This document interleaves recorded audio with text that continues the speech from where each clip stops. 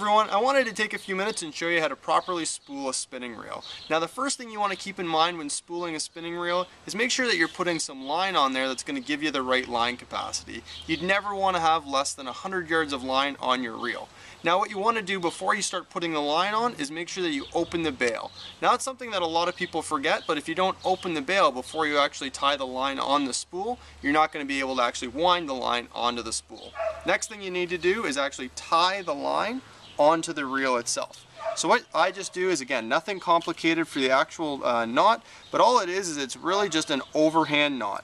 So what I'm going to do I'm going to tie it around, loop it around the spool tie one overhand knot just like I was doing my shoe. From there I'm going to take another overhand knot and do the exact same thing and tie it and pull it down tight. So again, now that I've got it tied on there, one of the things that I always do is I, I take the actual, uh, the actual tag end and I take a set of scissors here and I make sure I cut it as close as I can uh, so that it's not going to impede the line that's coming off the rest of the reel.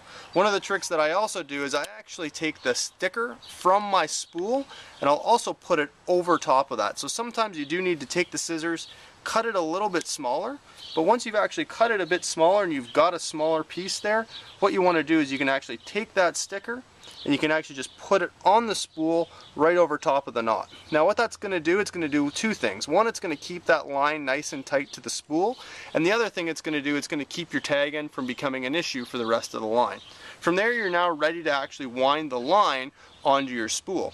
Uh, one thing you want to make sure with your spool is that when you set it down, you want to make sure you've got the label facing up. The label of the spool facing up is going to have that line coming off clockwise. What it's also going to then do, that's going to match it up to the way that the line is going to be going on the reel.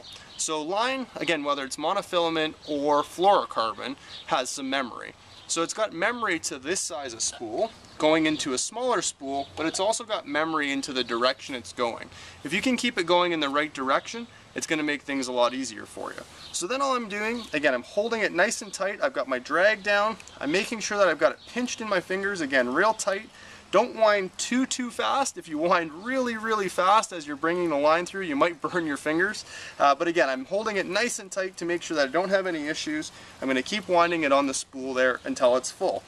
Now when I say full, what full means is you want to have it just maybe a 16th of an inch below the capacity of the spool. So the capacity would be with the line being completely flush with the spool itself. So again, you'll just keep winding it on there until you get close to that point we're getting pretty close right now. So that should give me, yeah, that'll give me just about 100 yards, probably just over 100 yards on this spool. What I'm then going to do, I'm going to take that same pair of scissors I cut the label with and cut the line.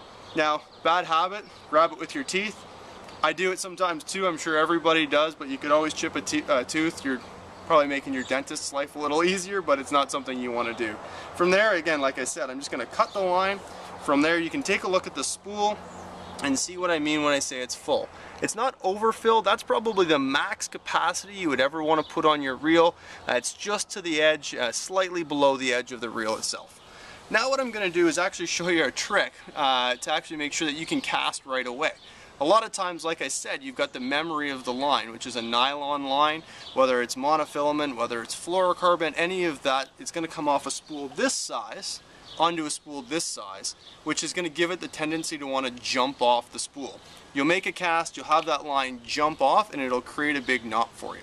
So what you want to do is you want to take the spool off. The way you take the spool off is untwist the, the drag. So you want to make the drag, again, as loose as it'll possibly go, and that'll allow you to take the spool of the reel itself off. So again, you want to keep it going until it's real loose. Eventually it'll just pop its way off.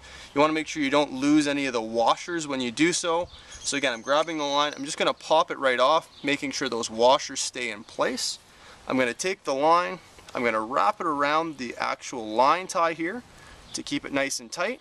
And then what you'll do is you'll take a glass of warm, almost hot water. So again, it's just coming out of the tap. You don't want real hot water. It's going to damage the line. Uh, hopefully your, your girlfriend, wife, significant other, mom, whoever it might be, uh, lets you use a glass. Um, but again, it's just warm, warm water that's coming out of the tap. I'm going to take the spool and drop it right in. Now I'm going to leave it in there for probably about 10 minutes. So again, that warm water, what it's doing, it's making the nylon that's gone from a spool this size really fit and change the memory to a spool this size. It's really going to make your life a lot easier. So if you keep some of those things in mind, once you put your new line onto your spool, it's really going to make your life a heck of a lot easier and that's how you spool a spinning reel.